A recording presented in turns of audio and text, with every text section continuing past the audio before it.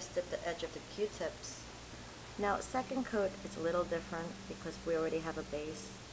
I'm just gonna really just roll the colors around. And smooth it out.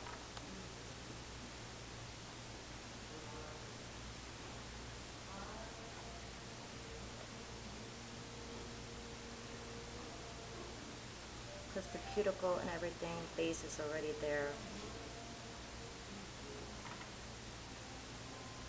Some people do what just one coat. I mean, our color it's actually it is what you get in the bottle because of the. I think it has a lot to do with our base coat too. So you don't really have to do two coats if you don't want to because it's really the same color. I just like to do two coats because it kind of it's easier for me to maneuver my imperfections like this. That I could just make it even. Like if I didn't touch some of the cuticles, this is my chance. Like here.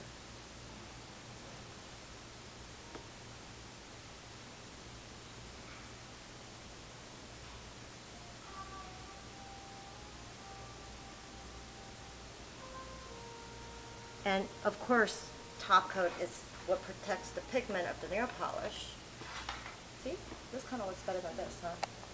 Um, so you should never skip top coat, I mean, no matter what, because actually you want to use top coat at two or every three or four days because if you're using a lot of products that has like alcohol base, it'll dull your nail polish. So if you um, see there's non, non-glossy or dullness of it, then you should definitely apply the top coat again, and that will prolong the life of nail polish.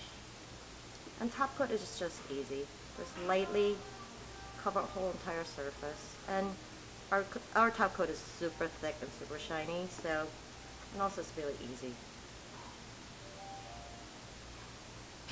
And of course, you know, torture is letting it to dry and not touch anything for about 20 minutes.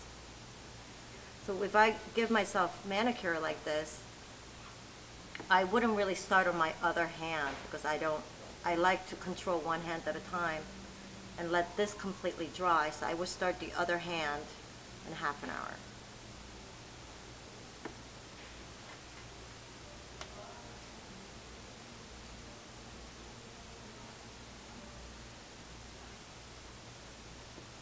And there it is. That was pretty fast. It's not bad at all. So after, when you see this undesirable little bleeding in the red, yes, technically if you wash your hands like three times, it'll come back. But it depends how obsessive you are. And there's Q-tips to help you along with that, so that you just clean up the messiness of the nail polish. And